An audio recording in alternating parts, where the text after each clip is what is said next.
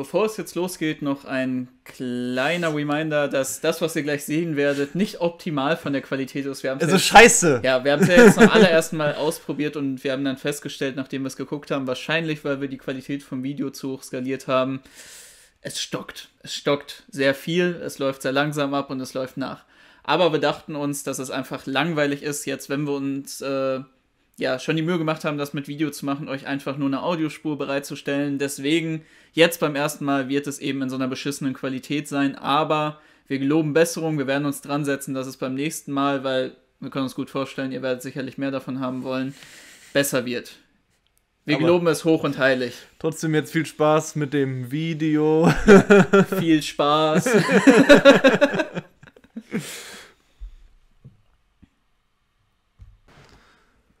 Tag auch Leute. Heute haben wir was ganz Besonderes für euch vorbereitet. In der 67. Folge von Über Tage sprechen wir nämlich heute über dieses unsägliche Video Antifaschist trifft Polizist. Und zwar in einem Reaction-Video, was wir aber gleichzeitig auch auf unseren sonstigen Kanälen hochladen wollen, also doppelt gemoppelt dieses Mal. Ich würde sagen, wir starten direkt in die Action. Uh. wir haben fünf Minuten, glaube ich, bisher gesehen. Danach mussten wir abbrechen, weil wir es nicht ertragen konnten. Haben dann nur auf Instagram, auf Instagram abgehatet. Aber jetzt nehmen wir es nochmal auf uns. Und zwar für euch, weil es war unfassbar, wie viele Leute sich das gewünscht haben. Deswegen starten wir mal. Ich will es schnell hinter mich bringen. ja, auf jeden Fall.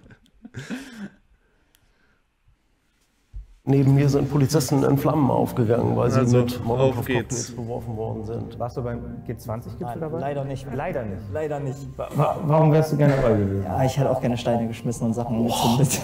Warum willst du Autos anzünden? Warum werden Polizisten mit Steinen geworfen, weil sich Politiker treffen? Warum? Ich verstehe es nicht. Ich bin Verfechter der Selbstjustiz, wenn es sein muss, auch bis zum ja, Tod der anderen Person. Personen, die eben ACAB tragen. ACAB ist die. Ich meine, direkt halt, wer sagt halt sowas? Wer, wer setzt sich halt in eine Fernsehshow und sagt, ja, bis zum Tod der anderen Person? Das ist doch halt. Das ist ja noch nicht mal was, so Leuten, denen man das vielleicht nachsagen wird, jetzt im Jugendwiderstand. Das haben ja selbst die nicht in ihrer RT Deutsch-Reportage gesagt. Aber, aber, egal, das. Äh Kürzen vor all Cops are Bastards. Wie geht's dir damit, wenn hier jemand dir gegenüber sitzt, der übersetzt sagt, alle Polizisten sind Bastarde?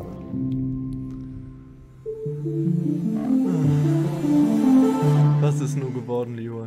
Hey Freunde und herzlich willkommen zu einer neuen Folge von Das Treffen. Mein Name ist Leroy und meine heutigen Gäste begegnen sich normalerweise in einer ganz anderen Atmosphäre. Ich treffe zum einen heute auf Punk. Punk bezeichnet sich selber als linksextremen Antifaschisten und er war bisher auf mehr als 50 Demonstrationen der linken Szene. Auf genau diesen Demos kommt er natürlich auch mit der Polizei in... Paprika? Ja, Paprika, Punk. Was gibt's? Ja, Kontakt, die bekanntermaßen in diesen Kreisen keinen besonders guten Ruf hat. Nach eigenen Aussagen wurde er von der Polizei schon öfter mit Gewalt bedroht, Grundlos kontrolliert oder angezeigt, unter anderem wegen Beleidigung und Sachbeschädigung. Und ich werde heute auf Michael treffen. Michael ist Polizist und überwachte schon unzählige Demonstrationen von verschiedensten Gruppen. Dort muss er mit... Zusammengekauft, aber das wirkt doch... Also er sieht halt aus wie so ein linken, noch nicht mal so ja, Jahrtausenderwende, sind eher so 90er. Ich weiß nicht, wie viele äh, Linke ich so in meiner Zeit gesehen habe, die wirklich noch mit so BW-Parker irgendwie mhm. rumlaufen. Gibt's eigentlich nicht mehr. Und vor allem zu noch Palituch, ey, der Typ, der fliegt aus jedem linken Zentrum. Ich würde wirklich sagen, zu Recht steht diese Verschwörungstheorie im Raum, dass es sich hier um einen äh, Spitzel oder was auch immer handelt. Eher wahrscheinlich dann eingekleideten Bullen oder Nazi, der da ähm, herum. Ich würde sagen, aber wir gehen trotzdem ja. so ran, dass wir erstmal seine Ausna ja. Aussagen so für voll nehmen und uns das mal anhören, was der gute Punk zu sagen hat. Sehr, sehr unvoreingenommen, total dem Hassleben, der ihm von Leuten wie Punk entgegenschlägt und wie er genau damit umgeht, das wird er mir heute erzählen. Bevor es losgeht, könnt ihr natürlich diesen YouTube-Kanal noch aktivieren und die Glocke abonnieren, um keines dieser Videos mehr zu verpassen. Und wenn ihr selber das Gefühl habt, ihr wollt mal mit dabei sein, dann meldet euch einfach. Auf jeden Fall. Also bei uns ist es natürlich auch so, dass bestimmt 70 Prozent uns ja, haben. Also Grüß das nach. Schön, dass ihr hier seid. Alles klar soweit? Ja. Ja. Ja, ja, noch sehr ungewohnt, aber ansonsten Noch sehr ungewohnt. Alles gut. Ja, man hat ja nicht alle Tage so ein Interview, Kameras, Licht und alles. Aber ich freue mich sehr, dass ihr heute hier seid. Wollt ihr euch einmal kurz vorstellen für die Zuschauer, die euch noch gar nicht kennen? Ja, ich bin Punk, bin zwei, mittlerweile 22 Jahre alt und bin in der linksextremen Szene und wer sagt von sich, also habt ihr jemals in eurer Laufbahn in der linksextremen Szene jemanden kennengelernt, der wirklich von sich selber sagt, hey, ich bin in der linksextremen Szene. Niemand macht das. Das ist so fucking skurril, oder? Ich hab's noch nie gehört, ja. Also das war auch das, was man direkt so, so gesprungen ist. Ja. Und heute hier? Ja. Okay.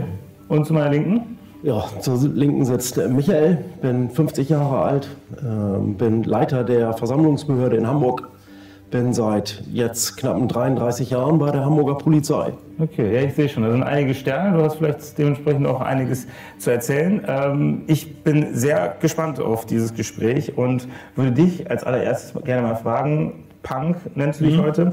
Ähm, du hast gerade schon gesagt, du bist linksextrem in der linksextremen mhm. Szene. Ist das dieser, dieser Antifaschismus? Oder ich so? habe keine Ahnung. Genau? Die linksextreme Szene ist halt eine lose Szene. Dort sind Antifaschisten drin. Theoretisch ist jeder, der gegen Faschismus ist, ein Antifaschist. Also nicht jeder Antifaschist ist in dieser äh, linksextremen Szene drin. Aber dann wäre ich ja auch ein Antifaschist. An sich bist du das, ja. Aber du bist ja nicht in der linksextremen Szene drin. Okay. Aber trotzdem Antifaschist. Was, was bist du denn? Weil es gibt ja die, die ich kenne die Linkspartei, die sitzt im Bundestag. Ich bin linksextrem. Extrem. Ich, ich, muss das, ich muss das noch vier, fünf, sechs Mal sagen, damit der Zuschauer auch versteht, ich bin extrem. Damit das schon mal ganz klar ist. Was heißt das für dich? Also so Gewaltbereit. Also ähm, egal ob äh, gegen Sachen oder gegen körperlich Nazis angreifen oder halt auf Vor allem, wer sagt, äh, Barrikaden wer spricht bauen. Dabei Gewalt gegen Sachen. Und, das ist doch immer äh, diese Trennung, die aufgemacht wird, um. wo man eben sagt, das ist nicht das, was wir eben als mhm. Gewalt definieren, irgendwie Sachbeschädigung und mhm. so weiter. Meine äh, Forderungen durchzusetzen. Also so, da, da gibt es dann keine echte Grenze so Nein. für dich. Warum bist du heute vermummt? Ich meine, wir zwei sitzen frei hier, aber was hat dich dazu bewogen? Ähm, ja, als, als Linker, sage ich jetzt mal, muss ich zum einen vielleicht mit Repressalien von der Polizei rechnen, zum anderen geht die Gefahr von Rechtsextremen aus, die mich erkennen könnten und äh, dadurch mir dann Gewalt antun oder auch Leuten, die ich kenne. Aber auch, es geht zum Beispiel auch Gefahr von einigen Linken aus, denn die linke Gruppe ist so zersplittert Bei mittlerweile, Punk tatsächlich, glaube ich. dass es aus den eigenen Reihen Gewalttaten gegen die eigenen Leute gibt. Wie bist du selber dazu gekommen? Weil also das ist ja nebenbei, muss man auch wirklich mal sagen, halt schon ein ziemlicher Mythos, der da auch eigentlich speziell vom Fassungsschutz normalerweise geschaffen wird und der jetzt hier von Punk mit aufgebaut wird, dass jetzt also eine große körperliche Gefahr ausgehen würde von anderen Linken. Also das ist doch ja, äh, eine sehr, sehr, sehr große Seltenheit. Ich meine, wie gesagt, bei Punk würde ich mich wirklich nicht wundern, wenn der Typ dann, wenn er tatsächlich ein Linker ist, auf die Fresse bekommt nach der, nach der Nummer, die er, die er da jetzt all, allen Linken geleistet hat. Aber im Allgemeinen ist das doch ein Phänomen, was quasi nicht existiert. Da gab es auch diese witzigen Geschichten von wegen mit äh, mhm. diesen, diesen Notfall-Hotlines äh, für Linksextremisten, wenn man aussteigen will. Genau. Ja wo dann irgendwie da drei ernsthafte Fälle in einem Jahr oder was weiß ich waren. Also das ist. Äh Aber ich möchte nochmal die Theorie in den Raum stellen. Das ist vielleicht jetzt meine Erklärung für das Ganze. Vielleicht ergänzt das das nochmal um eine weitere Theorie, dass er sich einfach in eine Zeitmaschine aus den 90ern aus Berlin gesetzt hat. Und er ist da direkt von der 1. Mai-Demo hier hingereist und äh, zufällig in die Sendung von Leroy gestolpert. Aber ich glaube, da waren die auch nicht so glänzend, die Sachen, die Leute getragen haben. Die ganzen Schuhe und. Jacke, das ist schon sehr glänzend. Man kommt ja nicht auf die Welt und denkt sich, okay, äh, ich bin jetzt linksextrem. Ähm, angefangen hat das 2015, 2016, als ich 15, 16 war, äh, als ich mich äh, als äh, Punk identifiziert habe oder dazu gekommen bin, dass ich Punk bin. Das ist ja eine Lebenseinstellung. Ja, und dann halt äh, Leute kennengelernt habe, die auf Demos gegangen sind Und äh, so bin ich da halt dann in diese Szene reingerutscht. Das war halt so ein, so ein fließender Verlauf. Reingerutscht. Von überhaupt nicht in dieser Szene. Über also, das muss man ja auch mal wirklich sagen. Alles, was der sagt, klingt halt wie aus dem Lehrbuch vom Verfassungsschutz. Ja. Also, diese, diese ganzen Vokabeln, Linksextremismus, was, was bedeutet das, wenn du dich als linksextrem definierst? Das bedeutet, ich bin gewaltbereit und setze gewaltbereit meine linken Ansichten durch. Mhm ich bin in die Szene reingerutscht. Das ist ja wirklich das, was du immer in diesen Dokumentationen darüber und immer dann von diesen VS-Experten halt da drin gesagt bekommst. Ja. Genau dieses Vokabular einfach abgeschrieben. Diese Szene rein. Okay. Aber wie, wie alt bist du jetzt? Ich bin jetzt 22. Das heißt, seit sechs Jahren, sechs Jahren so richtig Jahre, ja. da mit dabei. Mhm. Würdest du dich selber auch als als Antifaschist bezeichnen? Natürlich, ja. 100 Prozent. Ja. War doch okay. schon geklärt. Was genau steht in deiner Strafakte jetzt aktuell?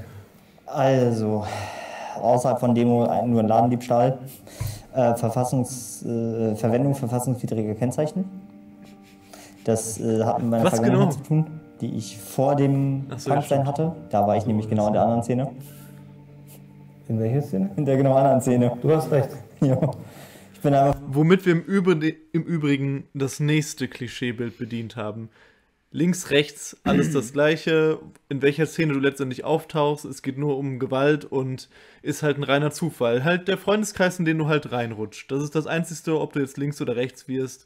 Ähm, und er hat halt vorher einen anderen Freundeskreis gehabt, jetzt hat er den Freundeskreis gewechselt, jetzt ist er halt links. Das ist halt die Grundeinstellung, das ist einfach dieses extremistische Weltbild und da wandelt man dann zwischen Islamismus, Rechtsextremismus ja. und Linksextremismus und das ist auch alles ein fließender Übergang. So, es gibt diese Biografien mhm. von Leuten, das stimmt und es gibt auch wirklich Leute, die auch in der Linken sind, die einfach nur da sind, weil sie halt gewaltaffin sind wo man wirklich sagen kann, dieses klassische mhm. Bild von, so, der hättest du würfeln können und äh, du weißt nicht genau, bei was der jetzt rauskommt, das ist reine Glückssache. Aber das ist so ein winziger Teil und die allermeisten Leute, die da ankommen, dass sie wirklich ein gefestigtes, irgendwie geartet sozialistisches Weltbild haben, kommunistisch, anarchistisch, laufen sehr selten Gefahr, dann eben, ja, Nazis, Faschisten oder Islamisten zu werden. Ja. Also ich habe, glaube ich, eine Person in meiner gesamten Zeit, über zehn Jahre jetzt in der linksextremen Szene äh, kennengelernt, die wirklich übergelaufen ist und wo man das so eins zu eins sagen kann. Und auch in dieser gesamten Zeitraum ist das, also wirklich, kann man das an einer Hand abzählen, was es da an Fällen gab, von wirklich jetzt. Und das muss man sagen, das viel häufiger. Leute, die, also wo ich auch mitbekommen habe, die mal türkische Nationalisten bis hin zu Faschisten waren oder das jetzt nicht aus einer persönlichen Erfahrung, aber das kennt man ja dann wirklich, dass es Nazi-Aussteiger gibt, die dann zumindest Sozialisten werden oder ja, teilweise genau. Anarchisten, Kommunisten. Das gibt's häufiger, ja. So, und das gibt es viel häufiger, auch wenn es genau. wenig, wenige Fälle sind, als dass Leute aus der Linken genau, da hingehen. Ja. Und da muss man dann auch sagen, das machen sie dann meistens wegen bestimmten Linien in ihrem Denken, die sie dahin dann übertragen, die schon vorher vorhanden waren und nichts, was sich explizit aus dieser Theorie oder Tradition entwickelt. So, bis hier haben wir alles schon gesehen. Alles, Von ganz rechts nach ganz links gewechselt. ja, und dann Landfriedensbruch, Vermummung, wobei das eher eine Ordnungswidrigkeit, glaube ich, ist. Nicht angemeldete Demos, also teilgenommen. Ja, das war es im Großen und Ganzen. Eine Bele Beleidigung hatte ich noch. Und du selber bist äh, wie zum Polizisten gekommen? Das würde mich auch interessieren. Ähm, ich glaube aus familiären Gründen. Also mein Vater war bei der Bundespolizei der Weg zeichnete sich einfach so ab, dass ich den Beruf, den er ausgeübt hat, total interessant finde, dass er durch ganz Deutschland gefahren ist und spannende Sachen erlebt hat und wie er mir das erzählt hat, die Sportlichkeit, die damit zugehörte ähm, und der Beruf der Abwechslung, ähm, das fand ich total interessant und deswegen habe ich mich auch für den Beruf entschieden. Ich habe eben schon an sehr, sehr vielen Demonstrationen teilgenommen, die vielleicht gekippt sind und wo es eben gewalttätige Ausschreitungen gegeben hat, nicht so gegen Sachen oder wo Barrikaden gebaut sind, sondern wo dann eben auch Personen oder dann auch wir als Mensch angegriffen worden sind oder als Polizist angegriffen worden sind. Krass. Das hast du selber erlebt? Das habe ich selber gelegt. Neben mir sind Polizisten in Flammen aufgegangen, weil sie mit Molotow-Cocktails beworfen worden sind. Und ähm, das jetzt nicht nur aus einer Szene, sondern es gibt natürlich ganz viele Anlässe, warum man natürlich auf Demonstrationen fährt. Was genau hast du auf so einer Demo dann zu tun gehabt? Also ich habe ja in verschiedenen Positionen da gearbeitet. Einerseits gibt es dann eben das, wo man eben vorweggeht und aufpasst, dass da keiner reinfährt. Und dann gibt es eben auch Demonstrationen, wo die Polizei dafür da ist,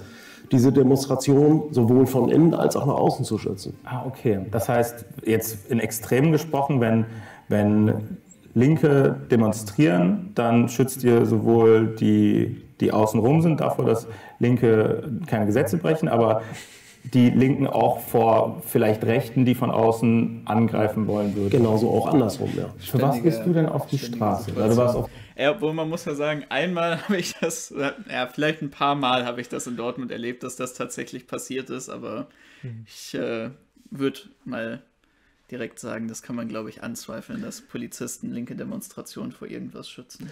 Man muss auch hier an der Stelle ja wirklich mal festhalten, was da halt für ein Szenario aufgebaut ist. Wir haben auf der einen Seite wirklich einen gefestigten mit 50er Familienvater, der schon seit 1000 Jahren bei der Polizei ist, mit seinem Gesicht auftritt, erstmal auf die meisten Menschen wahrscheinlich sympathisch wirken wird, äh, ne? weil er halt einfach offen auftritt, weil er ähm, gut sprechen kann, weil er einfach erstmal jemand ist, den man, wenn man jetzt so auf der Straße trifft, erstmal als sympathischen, ruhigen Typen wahrnimmt. Und dann haben wir halt Punk. So, und das muss man ja nicht so weiter erklären. Also dieses Gefälle ist ja halt unfassbar krass so. Hm. Wobei es natürlich noch dazu sagen muss, es ja in der Linken sehr, sehr, sehr, sehr viele Menschen geben würde, die auf einem Level mit äh, dem, ich weiß, ich habe schon den Namen wieder vergessen, Wolfgang oder wie der heißt, äh, da auftreten könnten. Das ist ja keine Sache, dass es das nicht geben würde oder so, ne? Mehr als 50 Demos, das würde mich jetzt echt mal interessieren. Also überwiegend waren es Demos gegen rechts, dann war es mal eine Demo gegen Polizeigewalt, eine Demo gegen Hausdurchsuchung, gegen Abschiebung. Warst du beim G20-Gipfel dabei? Leider nicht, war ich noch zu jung, ich durfte nicht. Le leider nicht? leider nicht. Wa warum wärst du gerne dabei gewesen? Ja, ich hätte auch gerne Steine geschmissen und Sachen angezündet. warum, warum, Entschuldigung, ich hab, man konnte das auch meine Reaktion werden. Warum hättest du gerne Schweine, äh, Steine geworfen? Warum? Ich verstehe es nicht. Warum ist da das Gut von anderen Menschen einfach falsch. Warum willst du dieses Gut angreifen? Warum willst du Autos anzünden? Warum werden Polizisten mit Steinen geworfen, weil sich Politiker treffen? Warum? Ich verstehe es nicht. Ja, weil das die, ja, die mächtigsten Politiker äh, über, entscheiden über den Rest der Welt, über die armen Menschen. Und die Politiker sind alle weiß. und die entscheiden über alle Menschen. So, weltweit, auch über äh, Länder, deren, deren Politiker dort gar nicht teilnehmen. Reicht es nicht, als. Ah, ja. Stabile Analyse von Punk äh, an der Stelle. Das Problem ist, dass sie alle weiß sind, was noch nicht mal stimmt, glaube ich. Nicht bei der G2. Aber es ist ja auch egal, was er sagt. Im Endeffekt. Ähm, vielleicht, was ich auch ganz interessant finde, bezüglich dem Ganzen, wie überhaupt auch sein Ansatz von linker linker Politik dargestellt wird. Also es ist ja wirklich nur dieses Bild, wie man sich halt ja.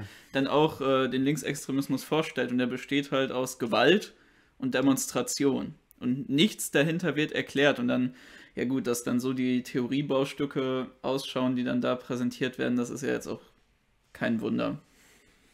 Als, als Masse zu schreien, zu jubeln, zu skandieren, Plakate zu zeigen, bunt zu sein, laut zu sein.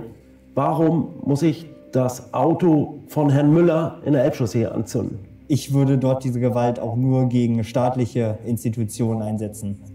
Also gegen. Es gibt also doch Grenzen. Äh, ich weiß gar nicht mehr genau, wo die sich getroffen haben, aber gegen das Gebäude, gegen die Fahrzeuge der Politiker und ähm, ja. Hast du Kinder? Frank überrascht ja. dich. Ich kann nicht verstehen, wie, was, was du da für, für, dir daraus erhoffst, wenn du jemanden wie Michael, der dann seine Schicht hat und dann wieder nach Hause zu seiner Frau und seinen Kindern fährt, so, seine Uniform auszieht und dann nehmen die Kinder den im Arm. Äh, warum man so jemandem dann Steine an den Kopf wirft, äh, in der Hoffnung, dass sich dadurch irgendetwas ändert. Ja, ich sag mal so, also. Das hat mich gerade so krass daran erinnert an, ich weiß nicht, ob ihr das Video von Feine Sahne Fischfilet äh, zu ihrem Musiktrack Wut kennt, äh, wo das ja super gezeichnet ist. Dieses Bild, was Leo da beschrieben hat. Dass also dann ja, der äh, Polizist nochmal vor seiner Arbeit äh, seine Kinder in den Arm nimmt, äh, nochmal die nett zudeckt und so weiter.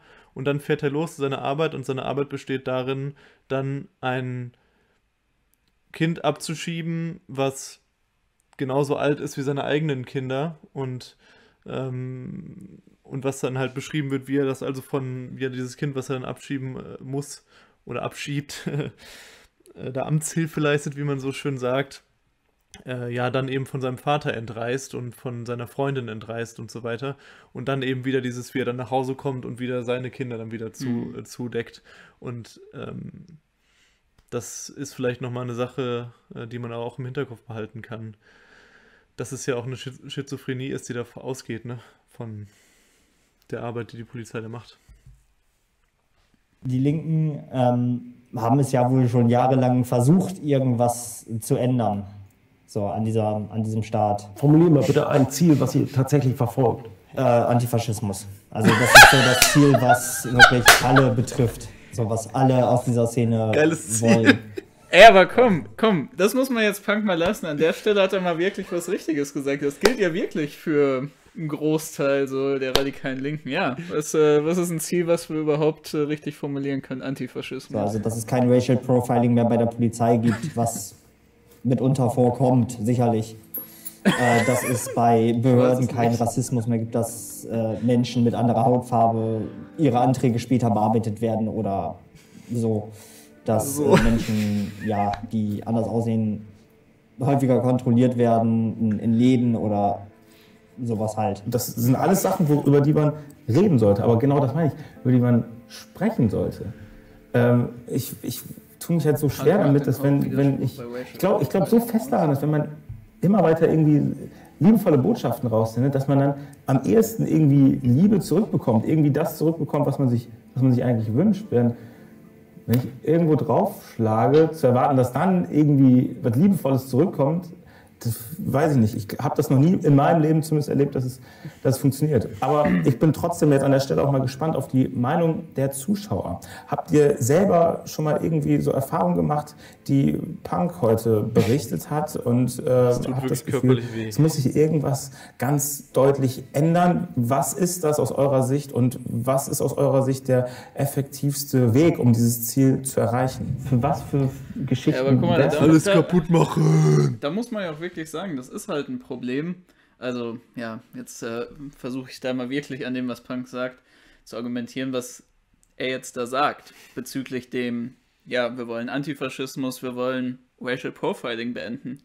Wenn du das als eine Rechtfertigung dafür nimmst, dass du sagst, aufgrund dessen muss militant gehandelt werden und aufgrund dessen muss dieser Staat direkt hinterfragt werden und der Kapitalismus und im Endeffekt mhm. abgeschafft, beziehungsweise transformiert werden, ja, dann werden die Leute dir auch sagen, ja gut, das sind alles Sachen, ähm, ja, da kann man drüber reden, das äh, können wir ähm, innerhalb des Systems doch, da können wir doch alle drüber sprechen, das sind doch jetzt keine, keine hehren Ziele. Ja, natürlich, wenn du nicht sagst, dass du diesen Hauptwiderspruch ausmachst, oder sagen wir mal, einen Widerspruch ausmachst von Kapital und Arbeit, dass so wie dieses System jetzt funktioniert, es grundsätzlich halt diese ganzen Probleme produzieren wird und dass das in den Grundfesten eigentlich angelegt ist, und wenn du das nicht radikal hinterfragst, dann können die Leute immer so reagieren, wie Leroy und der Herrn Blau das dann da machen würden. Und das ist auch das Problem, weil ja, jetzt steht er halt da als, ähm, ja gut, ich mache das halt einfach, weil es mir nicht schnell genug geht oder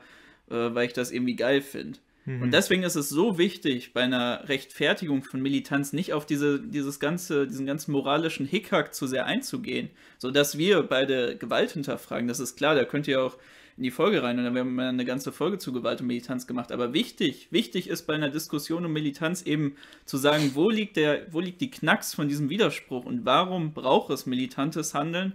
Weil es einfach im System anders sonst nicht geht. Denn bereit, äh, ja, selber zu, zu kämpfen, also jemand anderen zu verletzen oder Dinge kaputt zu machen, aber vor allem auch Menschen, Menschen irgendwie Leid zuzufügen? Äh, gegen Rassismus. Wenn jetzt ein äh, Mob aus zehn gewaltbereiten äh, Nazi-Hools äh, irgendwelche Minderheiten jagt, dann würde ich da auch gewaltbereit reingehen.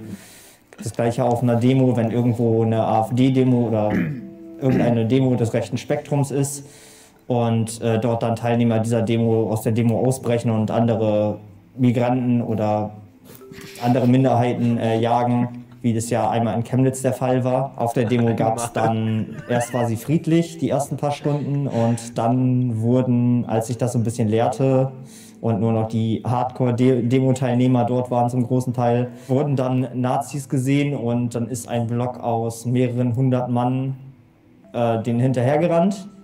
Und natürlich haben das Polizisten mitgekriegt und sind dann gleich mit der Pferdestaffel und zwei Wasserwerfern und diesem Räumpanzer äh, vorgefahren und haben uns in einem Kessel eingekesselt zwischen zwei Gebäuden und äh, uns dort fünf Stunden festgehalten. Warum haben die das gemacht? Äh, ja, weil wir natürlich aus der Demo, aus unserer Demo ausgebrochen sind, um eine andere Demo zu stören und natürlich, weil wir andere Demo-Teilnehmer angreifen wollten und auch andere Straftaten begangen wurden. Es wurde auch Pyrotechnik gezündet, wie ich gehört habe. Ja, ähm, ja und deswegen wurden wir halt gekesselt. Und warum wird nicht auf den Staat gewartet, dass der einschreitet? Bitte? Wenn bei den anderen Straftaten begangen worden mhm. sind, so warum wurde nicht auf Warum wurde nicht der Polizei Bescheid gesagt? Ja, die Sache ist, wenn man so ein äh, Block aus 100 gewaltbereiten Leuten ist, äh, die nicht sehr viel von der Polizei halten, wird natürlich die Polizei nicht zur Hilfe hinzugezogen. Ist das dann richtig so, Selbstjustiz zu üben oder dass der dass die Bevölkerung selber Justiz übt oder Strafe verübt? Ja, also in, in, meiner Meinung, äh, nach meiner Meinung ja. Ich bin Verfechter der Selbstjustiz, weil in manchen Sachen einfach der Staat versagt, sei es dann deshalb, weil er viel zu überfordert ist, weil Gerichte überfordert sind oder auch einfach, weil Strafen überhaupt nicht angemessen sind. Und wo ist die Grenze?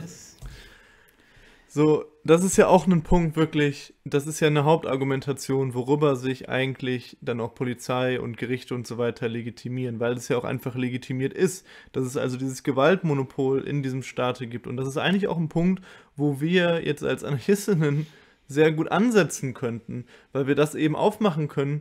Wofür sind denn also, wofür stehen denn diese, ähm, die, die, dieses Machtmonopol des Staates, Gewalt auszuüben? Und das ist doch in erster Linie, um die Eigentumsverhältnisse zu schützen. Die Hauptgewalt bekommen ja auch faktisch dann eben Leute ab, die schwarz fahren, die irgendwelche illegalisierten Substanzen zu sich nehmen ähm, oder sonst wie, was weiß ich, klauen gehen, äh, weil, weil das Geld am Monatsende nicht reicht und so. Und das sind doch Themen, die man halt aufmachen kann an so einer Stelle. Halt einfach so, äh, ja, die Strafen sind irgendwie nicht so angemessen oder so. Also es ist halt einfach, boah, es tut halt körperlich weh. Inwiefern die ganze. Wo hört denn die Selbstjustiz dann auf?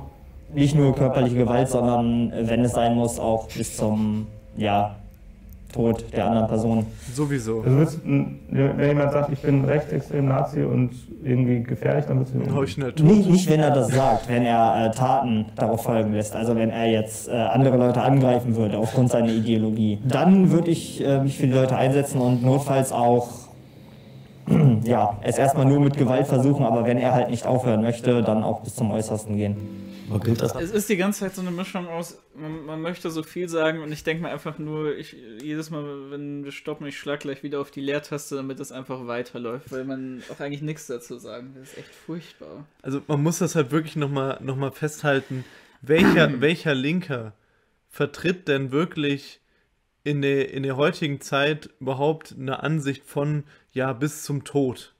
Also, das sind im Allgemeinen sehr, sehr wenig Leute und die Leute, die das dann vertreten, das ist, steckt noch was ganz was anderes hinter. Die, diese Art von Person, wie sie da gezeichnet wird oder vielleicht sogar real existiert, wissen es ja nicht genau. Also irgendwelche so Punker-Kids, die halt auf Demos gehen, klar können die auch Gewalt vertreten und so weiter, aber es würde doch nie jemand sich in der Öffentlichkeit dahinsetzen und sagen, ey Leute, ja klar, ich schlag halt einfach irgendwen tot, so ernsthaft. Ja, oder wenn sind es halt nur die größten Laberköpfe und die größten Maulhellen, davon gibt es vielleicht eine ja. Handvoll, aber guckt, guckt man sich doch mal an, so ohne jetzt irgendwie da äh, wertend über Militanz oder wie sie aus, äh, ausschaut sprechen zu wollen, aber schaut, schaut euch doch einfach mal die Statistiken zu den linksextremen Todesfällen an. Mhm. So, die kannst du an einer Hand abzählen und die äh, ich weiß gar nicht, was es da überhaupt nach der äh, Jahrtausendwende noch gab. Und da sind dann, wenn, wenn irgendwie auch so ein ganz dubioser Fall. Also, es ist nichts, das ist nichts, wo man wirklich drüber reden muss. Das ist halt, ja, einfach nur komplett fernab der Realität. Dann für jede Ideologie, also wir sprechen jetzt nicht nur von politischen Einstellungen, wir sprechen ja auch womöglich von, von kulturellen oder religiösen Einstellungen, wäre das dann okay. Ich stelle mir das Bild jetzt gerade einfach so in der Stadt mal vor wie das denn ausgeht, wenn jemand eine andere Meinung hat, ein anderes Aussehen hat und womöglich ähm, ein anderes Vorgehen hat, ähm, äh, werde ich dann sofort als Bürger selber aktiv und muss ich dann äh, ich bin jetzt dagegen und dann greife ich den jetzt an. Stell ich mir vor, dann ist ein Rechtsextremer, der damit nicht konform geht, der darf das dann bestrafen, weil ähm, er handelt dann ja womöglich genauso wie der Linksextreme, der gegen die Rechtsextreme ist, der gegen Rassismus vorgeht. Und dann habe ich da eine wilde Schlägerei auf der Straße, weil jeder seine Justiz ausübt. Und was, äh, ich kann mir das gar nicht, das bildlich bin ich da überhaupt nicht bei. Das muss ich ganz ehrlich sagen. Ich glaube, das wäre die absolute Katastrophe, wenn wir alle diese Einstellung hätten. Wir können dann bis aufs Äußerste gehen ähm, und lassen den Staat da nicht mehr regulierend eingreifen. Der sich dann auch dazwischen stellt, das muss man ja auch ganz ehrlich sagen, sondern wir schützen ja alle. Ich, ich finde das, ich, ich, ich glaube, du, du bekämpfst da Dinge mit, mit Mitteln, ich finde das ganz schwierig, weil wenn du selber sagst, okay, das ist schlimm, dass, dass äh, Nazi jemanden äh, jagt, der, äh, der irgendwie schwächer gestellt ist, der Migrant ist, so, ist grausam. Die Lösung, den dann umzubringen, im Zweifelsfall, ist aber doch kein, kein bisschen besser. Also, oh Mann, jemanden, ist, ist, das irgendwie eine will, coole Art nicht hören, der Strafe oder irgendwie auch eine? Das ist so skurril. Weil wenn, wenn, du, wenn du dann sagst, du antwortest mit Gewalt auf, auf Gewalt, glaube ich, ändert sich wenig, oder? Ja, das Problem ist einfach, dass äh, jetzt bei den äh, Fronten links und rechts, die Fronten sind ja so verhärtet, damit ja keine Front äh, vorher aufgeben und da sich äh, den Gesetzen beugen, sage ich Warum? mal. Die Fronten sind so verhärtet und die äh, Gruppen so zum Teil so autonom und staatsfeindlich, dass da eigentlich äh, von staatlicher Seite aus fast keine Repressal Repressalien mehr möglich sind, die da einen positiven Einfluss drauf haben. Ich kann nur aus meiner Perspektive sprechen, wenn mir irgendwas Nein, nein, nein, nein, nein, nein, nein, nein. Okay, wir reden nicht darüber. Das sind einfach nur eine Aneinanderreihung von Wörtern, die keinen Sinn ergeben. weiter. Irgendwas Übles passiert. Zum Glück bin ich da bisher äh, weitestgehend von äh, befreit gewesen, aber wenn mir was passiert, dann, dann rufe ich die Polizei und habe schon das Vertrauen daran, dass irgendwas passieren wird. Bei dir sieht es ja, irgendwas passieren wird, ist eine gute Beschreibung. Das stimmt, wenn ich die Polizei rufe, ähm, wird irgendwas so passieren. Denke ich natürlich jetzt, wo wir gerade auch in Hamburg sind, immer wieder an, an die Bilder, die ich, wie lange ist das her? Schon ein paar Jahre her, aber G20-Gipfel. Ich war nicht dabei, ich habe es nur gesehen und muss ehrlich sagen, ich war geschockt. Ich weiß auch noch genau, wie ich da vom Fernseher saß und diese Bilder gesehen habe, wie in Deutschland Autos brennen, teilweise Geschäfte, Häusereien zerstört werden und vor allem so Menschen auf Menschen, Polizisten auf Demonstranten losgehen. Und mich würde interessieren, Michael, warst du da selber mit dabei? Ich war nicht auf der Straße, aber ich war, war mit im Einsatz, aber in einer anderen Funktion. Ähm, habe aber zum Beispiel diese, diese Bilder der brennenden Autos tatsächlich auch vor Augen, weil ich da morgens eben im Dienst war ähm, und mir das ähm, durch Videoübertragung angucken konnte. Wie das jetzt so behandelt wird im Nachhinein, finde ich halt so geil. So, ich weiß noch genau, an diesem einen Tag bei G20, was ich da gemacht habe. Als ich morgens, als ich morgens aus dem Bett stieg, machte ich mir wie jeden Morgen meinen Kaffee und dann sah ich diese Bilder. Das ist wirklich, wirklich so, das, das erinnert mich gerade so krass an, an World Trade Center, so, wo halt wirklich so dieses Trauma, dieses ja, kollektive... Wie, wie so ein kollektives nationales Trauma der Bundesrepublik. Als die Autos brannten. Ja halt, man muss sich das mal vor Augen führen. Früher, zu Hochzeiten, äh, wo, wo die Linke noch ganz anders äh, drauf war und organisiert war und, und äh, Kräfte hatte, war das einmal im Jahr so ein Ereignis. Und die laden das jetzt halt so auf, als wäre jetzt irgendwie, keine Ahnung, die fucking Welt untergegangen. Ja, also natürlich, G20 war ein äh, besonderes Ereignis ja, auch für Militanz klar. in Deutschland, aber äh, keine Ahnung, da muss man einfach nur mal zu irgendeinem Ostdeutschland-Derby irgendwie in Leipzig oder so fahren, ja. sieht dann ähnlich aus. Und äh, tauchten auf einmal Personen auf, die die Elbchaussee äh, am Hafenrand in Brand gesetzt haben. Als Demonstrationszug, sie sind wahllos durch die Straße gegangen und haben alles, was nicht nied- und nagelfest eingeworfen und angezündet. Dann werden eben die Polizeibeamten begrüßt mit ganz Hamburg hasst die Polizei. Oder mit Personen, die eben ACAB tragen. Und ah, okay. wo, wo ich mir natürlich dann die Frage stelle, was soll das jetzt? Okay, das ist natürlich ein, ein, ein, ein schwerer Start. Kann, kannst du einmal kurz erklären, wofür das steht? Äh, ACAB ist die Abkürzung für All Cops are Bastards. Richtig also, stolz, wie das sagt. Polizisten sind Bastarde. Das ist natürlich eine deutliches, deutliches Statement. ja. wie, wie kommst du selber? Also, du, Du packst dir das hier gerade hin. Ich habe es vorher nicht gesehen. Ja. Aber, äh, das, äh, du willst ja, dass man das. Wie? Das ist deine Haltung. Das ist meine Haltung gegenüber der Polizei, ja. Wie, wie kommst du dazu? Ich selbst wurde einmal, ähm, das war nach einer Demo, wurde ich in der Nähe meines Wohnortes in einem Park von, äh, erst kam ein Streifenwagen und ähm, als die mich gesehen haben, sind die erst weitergefahren. Und äh, keine zwei Minuten später ähm, stand ich, saß ich bei uns auf einer Bank an einem Park und dann kamen gleich zwei Streifenwagen an, beide mit Blaulicht und beide vor mir angehalten, die Polizisten. Ich sehe das gerade. Kann das sein, dass er ein Bändchen mit CSD Bochum umhat? Ist er so ein, ein Hammer, Hammer, und Meißel, weil da steht CSDB. Das könnte auch Berlin oder so sein. Jetzt ja, habe ich echt Angst, dass der bei uns aus der Region kommt. Vielleicht dreht er sich hier gleich noch. Raus, zwei Polizisten mich geschnappt, auf den Boden in den Dreck, Knie im Nackenbereich gehabt und ein Knie auf dem Kopf. Ja, ich konnte nichts sagen. Die wollten nur meine, haben meine Sachen genommen, haben alles durchsucht, haben, um mein Portemonnaie und mein Perso zu finden und äh, haben mich dann kontrolliert. Und die haben keinen Grund gesagt, warum sie jetzt nee. dich überprüft haben. Also sie sind einfach aus den zwei Streifenwagen rausgesprungen, haben mhm. einen von der Bank runtergerissen und in den Dreck gedrückt. Ja. Für mich ist das immer schwer vorstellbar. Muss ich ganz ehrlich sagen, ich bin 33 Jahre bei der Polizei. Ich kann natürlich nichts ausschließen, das muss ich ganz ehrlich sagen, aber ich habe es persönlich noch nicht erlebt. Michael, jetzt ist aber in den letzten Jahren auch rausgekommen, dass es auch in der Polizei schwarze Schafe gibt, Menschen, die sich in teilweise in WhatsApp-Gruppen ähm, mit rassistischer Veranlagung vereinigt haben und die laufen dann mit derselben Uniform rum. Und da würde mich interessieren, äh, wie, wie gehst du selber damit um? Weil ihr seid ja Kollegen und wenn du sowas mitkriegst, also ich weiß es ja noch aus der Schule, ist jetzt nicht so cool, wenn man dann zum Lehrer geht und sagt, äh, ja hier, äh, der ist voll blöd gewesen. Das stellt dich jetzt nicht irgendwie ins bessere Licht intern. Also diese ähm, ja, falsche Kollegialität, die gibt es, die gibt es nicht habe ich auch noch nie kennengelernt bei uns. Sondern wenn oh, Junge, was? irgendjemand, wenn ich feststellen würde, da hat jemand diese WhatsApp-Gruppe und da wird sowas verbreitet und ich erlange sowas womöglich äh, selber, dann würde ich dagegen auch sofort vorgehen. Also ich würde auch zu meinem Vorgesetzten gehen oder ich würde zur Disziplinarstelle gehen und eine Anzeige stellen, dass sowas vorhanden ist.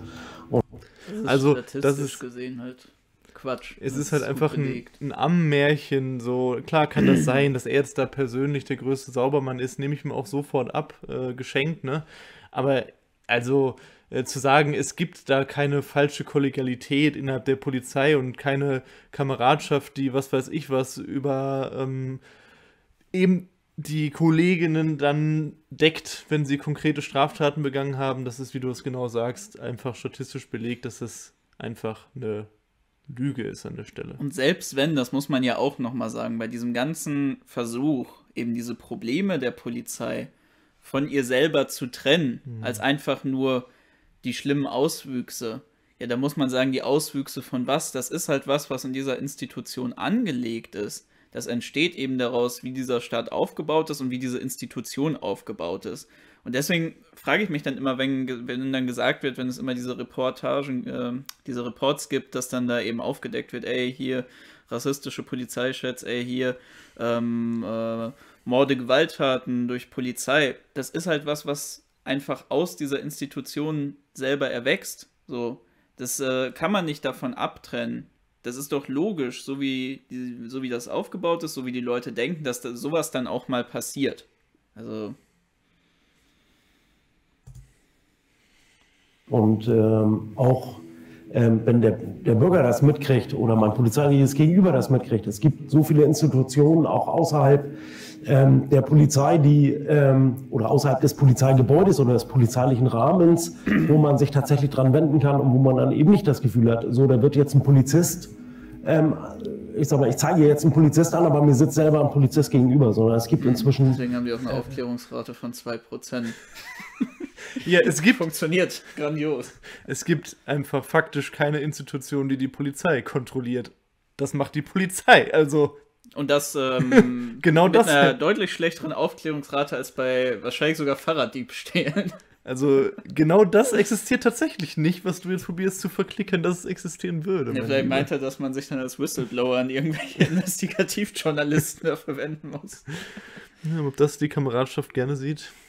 Äh, Stellen, die außerhalb der Polizei angesiedelt sind, wo man hingehen kann und sagen kann, ihr, der hat was Falsches gemacht, den möchte ich gerne anzeigen. Was würdest du machen, wenn ihr auf einer Demo seid, äh, unterwegs, ist, äh, ist eigentlich total friedlich und äh, dann wird jemand wie Punk von Kollegen zusammengeschlagen die sagen hinterher, äh, er war jetzt ein bisschen überzogen, aber äh, komm, lass mal einen Schwamm drüber machen und du bist am Ende der Einzige, der nicht dabei gewesen ist, aber du hast alles gesehen. Nein, ich würde mich da, also das würde tatsächlich mein Gewissen nicht schaffen. Ich würde da tatsächlich eine Strafanzeige schreiben. Bei Straftaten muss ein Polizist tätig werden.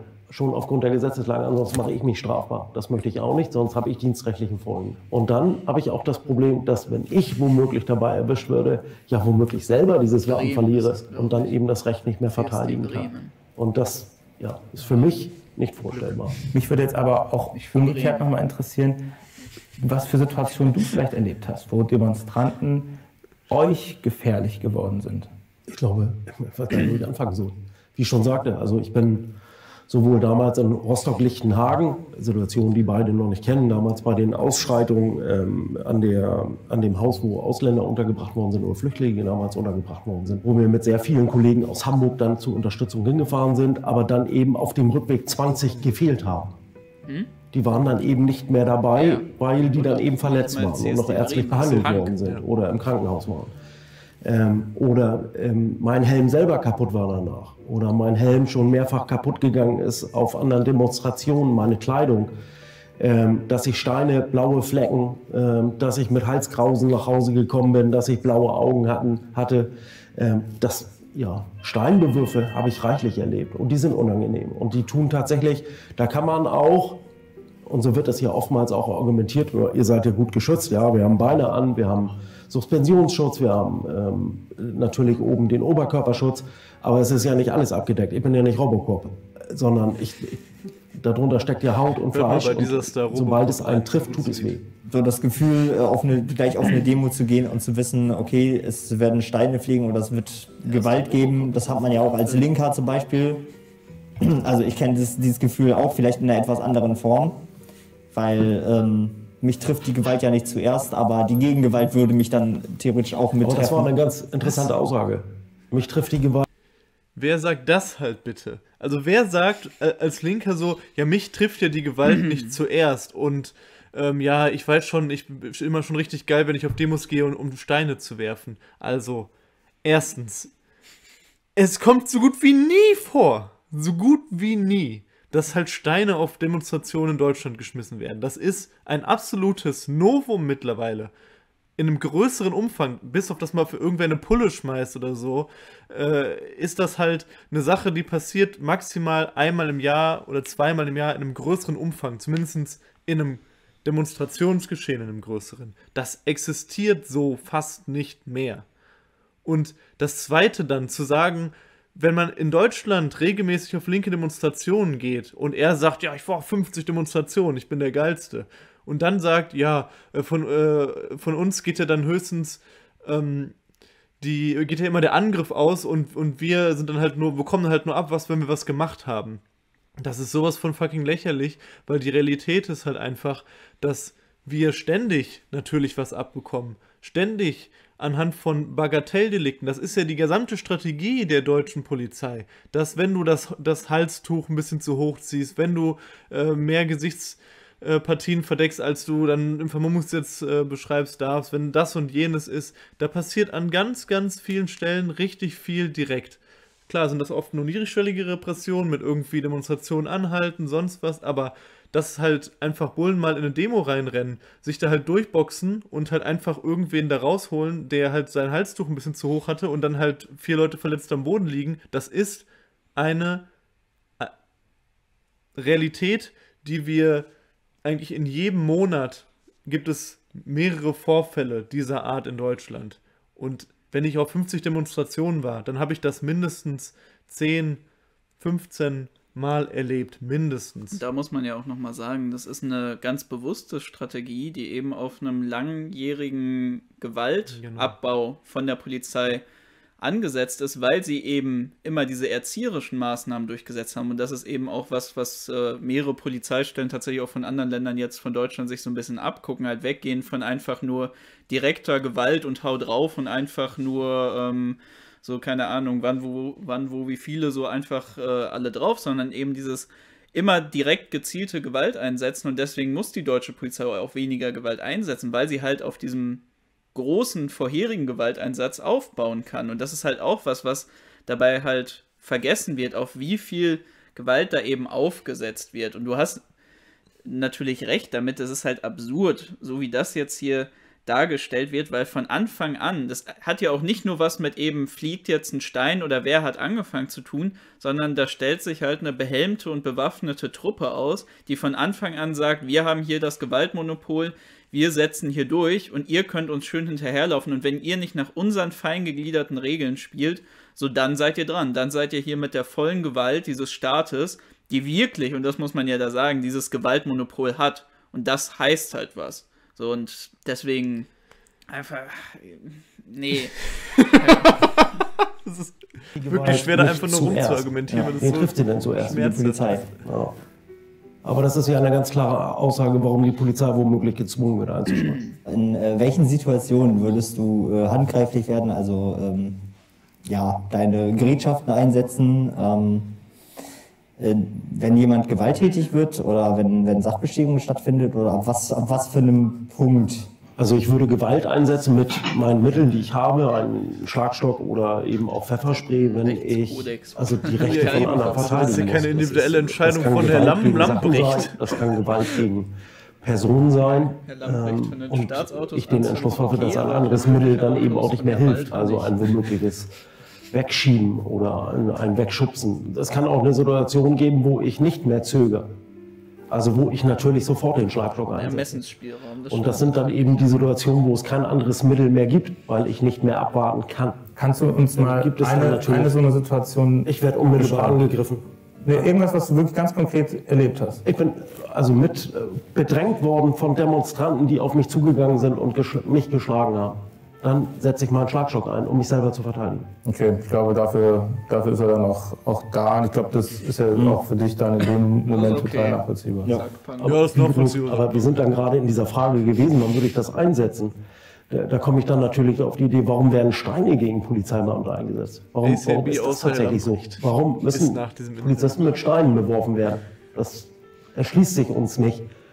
So, warum wirft man mit, mit Gegenständen ähm, und da will ich jetzt nicht. Ich glaub, das, das, das finde ich halt auch so geil. Das ist ja eine rein moralische Argumentation. Also es ist ja auch von, von ihm, das ist ja im Prinzip dieses gesamte Format, was wir uns hier gerade angucken, ist ja rein ja. moralisch und drückt ja auch wirklich nur genau dieses Straßengespräch aus, was halt von der Bildzeitung getriggert wird, wo dann einfach abstrahiert von Verhältnissen, abstrahiert von konkreten Situationen, abstrahiert von, worum es eigentlich geht. Einfach, wieso wirfst du Steine? Wieso verletzt du Menschen? Wieso verletzt, wir sind doch auch Menschen. Aber da, guck mal, da muss man ja auch wieder sagen, das ist halt das, wo solche Leute, die auf so einem Niveau argumentieren, halt brillieren können, wo sie auch gewinnen können gegen so Leute wie Punk, wenn man so eine Schablone sich da vorstellt. Und das meinte ich ja auch gerade ja. in dem Punkt mit, wenn wir über Militanz reden, müssen wir halt über die Verhältnisse sprechen. So, wenn wir über Gewalt sprechen, müssen wir über die Verhältnisse sprechen.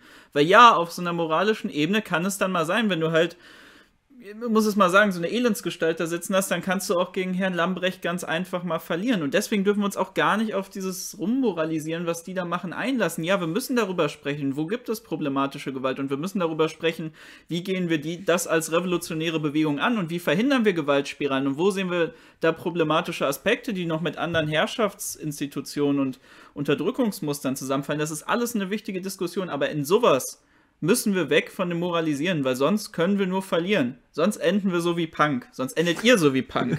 Wollt ihr so enden wie Punk?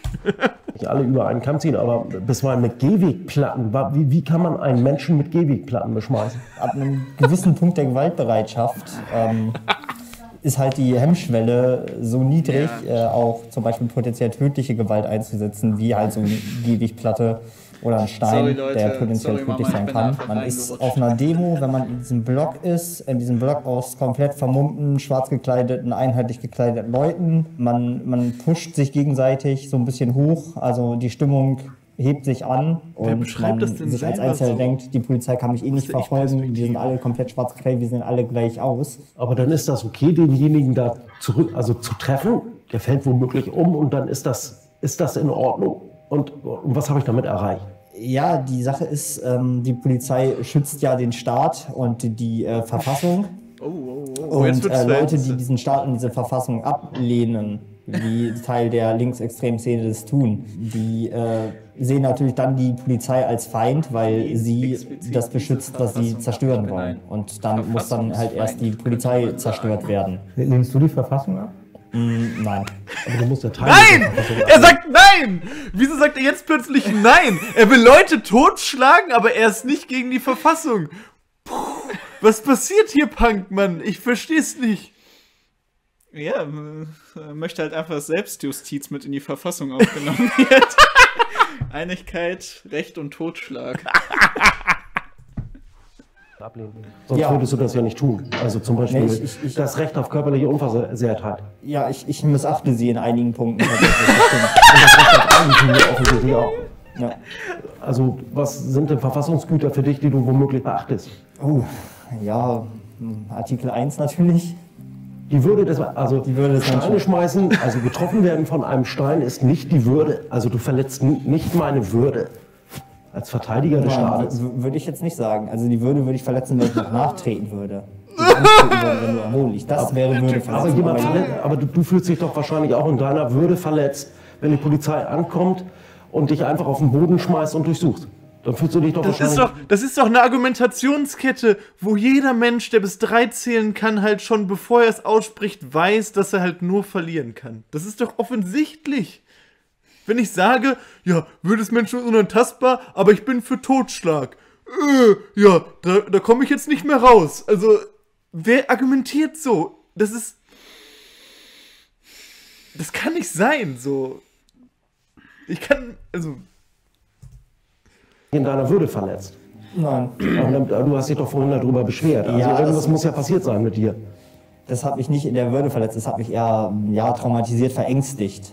Okay, also äh, ich glaube, äh, der, der Begriff der Würde ist schon ziemlich klar definiert. Mhm. Dass, dass, äh, ja, ist er dass, das? Wenn, wenn ich dir einen, einen Stein an den Kopf schmeiße, ist es natürlich deine körperliche Unversehrtheit zum einen, die ich damit gefährde, aber das, das ist natürlich auch entwürdigend, wenn ich, wenn ich Gewalt dir gegenüber anwende, äh, dann, dann respektiere ich dich auf keinen Fall. Also in dem Moment definitiv nicht. Also das musst du auch ja, ja, okay, gut, also, dann in dem Fall ist es ja richtig. Nur wenn, wenn, wenn die Verfassung irgendwie in vielen Punkten für dich dann doch so na, schwierig ist, du merkst ja, du sagst einerseits, die ist, die ist eigentlich zu achten, für dich persönlich, für viele aus deiner Szene nicht, aber du schon. Mit deinem Handeln bist dann aber doch manchmal sehr deutlich dagegen. Ja, stimmt. Das ist halt sehr offen Widerspruch. Man widerspricht, wenn man in der linken Szene ist, sage ich mal so, widerspricht man sich gerne mal selbst. Michael, mich würde jetzt interessieren. Es gibt kein richtiges Leben im Falschen. So hat der Punk, Herr Punk gut verinnerlicht. Also, hat er das wirklich gesagt? Das ist ja. Ich kann. Ich, Vielleicht ist es auch da, da ist, wir wissen es nicht. Wie, was wir für euch tun halt, zwingt uns nie wieder, so ein Video halt ganz angucken zu müssen. Das ist wirklich schlimm. Das Schlimme ist, ihr werdet gierig werden, das weiß ich genau. Dass, sobald wir dieses Video jetzt hier äh, so richtig gestellt haben, dann werden die Leute uns jeden Rattencode zusenden. Das ist richtig alles aushalten. Ihr seid richtig sadistisch veranlagt. Das ist echt schlimm. Du hast den Sticker von Punk gesehen. Wie geht's dir damit, wenn hier jemand dir gegenüber sitzt, der übersetzt sagt, alle Polizisten also geht, sind. Also mir geht's gerade gar nicht gut, Leute. Ich halte diesen Gedanken inzwischen aus. Ich nehme ihn bisweilen auch gar nicht mehr für, für ernst, wo ich diesen Widerspruch auch einfach drin sehe, ACAB, weil ich mir durchaus eine Situation vorstellen kann, die auf dem Weg nach Hause passiert. Er wird überfallen. Die, der Familie passiert, was deiner Familie passiert. Ja, und das wird angegriffen, es wird eingebrochen. Nicht das Auto ist geklaut, das Fahrrad ist geklaut. Und, und, dann weiß ich, wer angegriffen wird. Und das ist das, was mich, äh, was das Ganze für mich dann auch unglaubwürdig macht. Weil in Teilen sind wir gut und auf Demonstrationen ist die Polizei schlecht. Hier sitzt Michael, du hast diesen Sticker. Findest du, das trifft auf ihn zu? Nö, so wie ich ihn jetzt kennengelernt habe in diesem Interview nicht. Natürlich habe ich keine Danke, Erfahrung, wie er sich im Dienst verhält, ob er sich denn im Dienst regelkonform verhält. Wenn er das denn tut, dann trifft das natürlich nicht auf ihn zu. Dann ist er keiner dieser Polizisten, auf die das zutrifft. Okay, dann äh, stellen wir uns vor, nächste Woche Großdemo, wieder G20. Und dann steht euch gegenüber. Alt genug, sagst, ich bin mit dabei, voll motiviert. Jetzt kann ich endlich die Steine schmeißen. Ich sag mal so, auf einer Demo ist man jemand anders als privat. Also das gilt für uns meistens. Und wir, die, also viele von uns sehen die Polizisten auch dann nicht mehr als Privatpersonen, sondern als Polizisten. Und ähm, von daher wäre dann erstmal, dass er Kinder hat oder Familie, würde, würde dann erstmal unter den Tisch fallen. Die Demonstranten vor Ort dann auch nicht Weil er in dem Moment Polizist ist für uns alle. Er ist ein Mensch. Ja die Würde des Menschen ist unantastbar. Oder bin ich das nicht? Ja. Das ist halt so geil, weil halt diese gesamte Argumentationslinie ja natürlich komplett zu 100% auf der Seite von Herr Lambrecht ist. Und wie du es auch schon sagst, seit wann werden wir denn als Menschen auf Demonstrationen wahrgenommen? Also wenn man das halt schon so moralisch jetzt irgendwie so aufladen will und, und aufmachen will, äh, jeder Mensch, der ein paar Jahre in einem politischen Kontext unterwegs ist, weiß doch ganz genau, und, und merkt das am eigenen Körper, dass man nicht als Mensch be behandelt wird. Du kommst auf eine Demonstration, das kann auch irgendwas von vornherein komplett Friedliches sein, wo du halt dann schon in der U-Bahn abgefangen wirst von irgendwelchen mit Hasskappe und Sturmhelm auf und die, und die, die halt sagen, na, heute kriegt ihr scheiß Zecken auf die Fresse, heute machen wir euch fertig, heute brechen wir euch die Beine. Das ist halt die fucking Realität, die uns halt entgegenschlägt, so. Das ist ja jetzt nicht irgendwie was so einseitiges, eindimensionales, wir entwürdigen diese Menschen und, und wir werden so komplett geachtet, uns wird immer der rote Teppich ausgerollt und alles wird mit Samthandschuhen und alles läuft 100% geil ab und dann so, und dann, und dann, ja, könnt ihr das nicht wertschätzen, äh, oder also, dass wir euch beschützen. Dass wir euch beschützen. Also diese Erzählung ist halt so gestört. Ah, also biologisch gesehen schon. Ja, gut, äh, mein Lieber, also uh, schwer, schwer, schwer. Nur einmal nochmal zurück machen. Ist das ein Und, Mensch? Ähm, ja, wahrscheinlich ist das ein Mensch. Von daher wäre dann erstmal, dass er Kinder hat oder Familie, würde dann erstmal unter den Tisch fallen, sozusagen weil er in dem Moment Polizist ist für uns alle. Er ist ein Mensch. Die Würde des Menschen ist unantastbar. Oder bin ich das nicht? Ja, also biologisch gesehen also, schon. Okay. Ja, gut, äh, mein Lieber, also, uh, schwer, schwer, schwer. Ja, natürlich, natürlich auch als Polizist. Gut, vielen Dank. Ich, das ist schon hart, also das muss ich schon sagen. Mich würde jetzt ganz brennend mal interessieren. Also, einmal noch eine Sache zu der Würde des Menschen und diesem ja. ganzen Verfassungskram. Da muss man sich ja auch fragen, das wird ja immer, das ist ja auch wirklich so der Absatz in der Verfassung oder im Grundgesetz, der ja immer hochgehalten wird. Die Würde des Menschen ist unantastbar. Ja, was bedeutet denn Würde in diesem System? Was ist die Würde, die eigentlich noch übrig bleibt, die da nicht antastbar ist? Des Menschen, weil scheinbar ist es schon mal ein ziemlich großer Unterschied in Deutschland, ob man eben Staatsbürger ist oder eben nicht. Da wird die Würde dann schon mal ganz anders ausgelegt. Und wenn ich mir so angucke, wie unsere Gesellschaft verfasst ist, also nicht unsere, sondern die Gesellschaft dieses bundesdeutschen Staates, dann sieht es ja auch so aus, dass die Würde ziemlich unterschiedlich definiert sein kann, je nachdem, wie viel Geld man in der Tasche hat ja. und was für eine Funktion man in diesem Staat ausübt. Und dann auch noch, unter was für eine Kriminalisierung man vielleicht fällt, weil man schwarz gefahren ist, weil man mal seine, ja, kein Geld mehr am Ende des Monats hatte und deswegen vielleicht Sozialbetrug begeht oder im Laden klauen muss, weil man eben keine Kohle mehr für Essen hat, da kann die Würde des Menschen dann schon mal ganz anders ausschauen. Oder eben, wie wir es gesagt haben, wenn man ja diesen Widerspruch zwischen äh, diesen Widerspruch in diesem Staat im Kapitalismus ausmacht und dagegen agieren will, dann kann die Würde auch ganz anders aussehen. Und dann kann man sich wirklich fragen, was bleibt von dem, was da so groß geschrieben wird, mit der Würde des Menschen eigentlich übrig?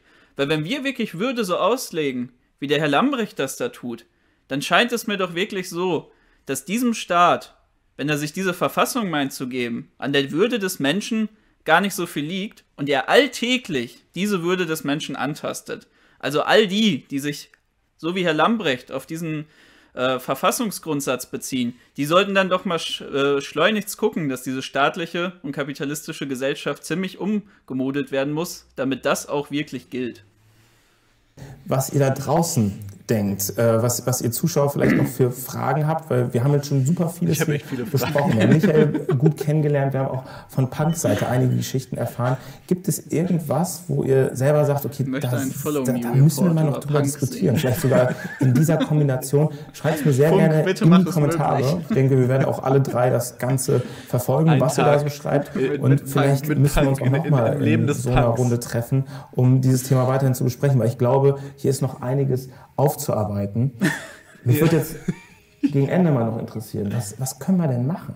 Weil die Situation, wie sie jetzt geschildert ist, ist total verfahren aus meiner Sicht. Ich, ich habe irgendwie das, gar nicht so das Gefühl, dass, dass äh, ja, hier so der, ja, die, die nächste Demo dann friedlich verläuft und ähm, die übernächste und wir irgendwie wirklich in eine positivere äh, Zukunft schauen können.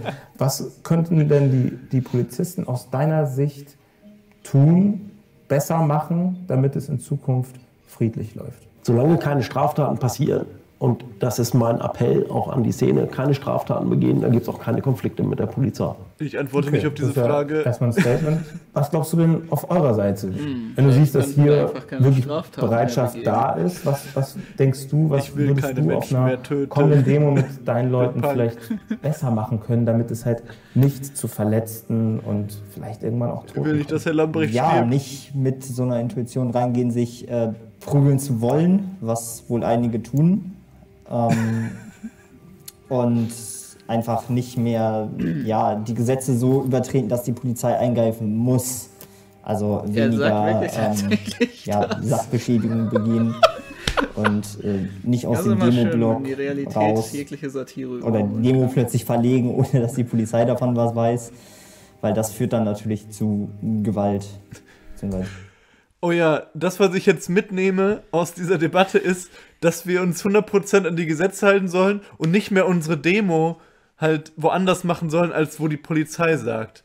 Hm, ja, das wird garantiert funktionieren. Und vor allen Dingen ist das ja auch voll die gute Idee, weil wenn wir uns 100% an die Gesetze halten, wenn wir uns 100% immer an das halten, was die Polizei sagt, dann können wir voll gut unsere politischen Ziele umsetzen. Das habe ich als Punk jetzt voll begriffen, weil das ist ja alles voll garantiert so in diesem Staatswesen. Wir können ja einfach unsere Meinung äußern und können einfach ganz normal demonstrieren und deswegen können wir doch einfach uns jetzt daran halten. Wieso haben wir eigentlich davor unangemeldete Demonstrationen gemacht und so weiter? Das verstehe ich jetzt im Nachhinein nach diesem Gespräch gar nicht mehr. Verrückt. Herr Lambrecht, äh, damit ich nicht mehr rausgezogen und verprügelt werde, könnten Sie mir vielleicht dann noch eine Checkliste mitgeben, wie viele Gesichtsmerkmale ich äh, nicht verdecken darf, damit ich nicht für eine Vermummung äh, rausgezogen werde? Das wäre wirklich lieb. Ich meine, manchmal sind zwei, manchmal drei, manchmal reicht auch schon irgendwie nur da der kommt Mund. Mensch aber doch gar nicht mehr mit. Zu Maßnahmen von der Polizei aus. Ich glaube, dass bei dir einige Sachen vielleicht auch Klick gemacht haben, warum Dinge so und so verlaufen. Und äh, vielleicht hat dir das heute mal die Möglichkeit gegeben, einen Menschen kennenzulernen, der da im Zweifelsfall mal gegenübersteht. Äh, ja, irgendwie ein, junger Mann ist, der ähm, ja, von rechtsextrem wieder zu linksextrem gewechselt ist und ja, heute vielleicht auch durch so ein Gespräch mal so ein paar innere Widersprüche äh, halt kennenlernen dürfen. Und ich selber bin super dankbar, dass ihr das Gespräch so in der Form gemacht habt, weil das, das ist auch nicht selbstverständlich. Äh, ich glaube, das ist für viele Menschen da draußen ganz, ganz wichtig.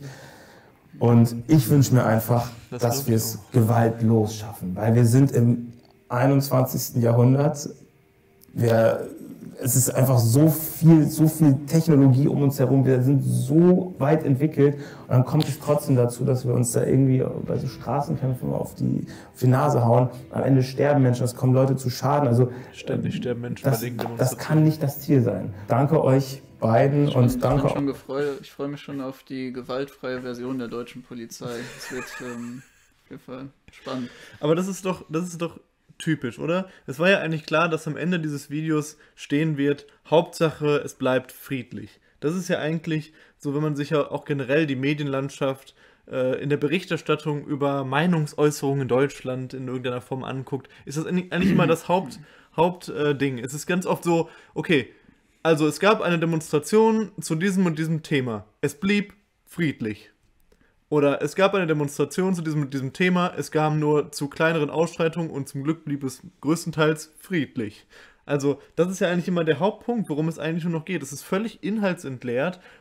Es geht überhaupt nicht mehr darum, was da passiert, sondern es geht nur noch darum, es ist friedlich geblieben oder nicht friedlich geblieben und dann ist es schlecht. Es ist schlecht, wenn es nicht friedlich geblieben ist, es ist gut, wenn es friedlich geblieben ist oder nicht gut, sondern es ist dann einfach so, okay, es ist einfach nur passiert. Wenn etwas nicht friedlich geblieben ist, dann ist es nicht nur einfach nicht nur passiert, sondern es ist auch noch halt schädlich und scheiße, egal worum es jetzt letztendlich geht. Aber das, das, muss man ja auch wirklich mal so sagen, weil das ist äh, absolut richtig. Das, was diese Art von Berichterstattung machen möchte, das, was sehr viel auch im, äh, beim Verfassungsschutz gemacht werden möchte, wenn die darüber sprechen. Und auch was in diesem Video ich möchte Leroy jetzt, das äh, hat auch echt viel stabile Sachen gemacht, ich möchte ihm das jetzt nicht unterstellen, aber was dieses Video ausdrückt, ist ja egal, was für eine Intention dahinter steckt, ist eine Entpolitisierung ja.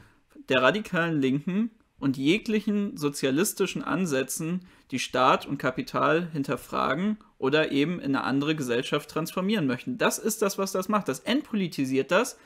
Hier in dem Punkt individualisiert das, das auf eine gewisse Schablone, auf einen Menschen bei dem nichts anderes gilt, bei dem kein anderer Inhalt mehr hintersteht, als Gewalt ausüben, halt angehalten an ein paar Phrasen, die eben nicht artikuliert werden können.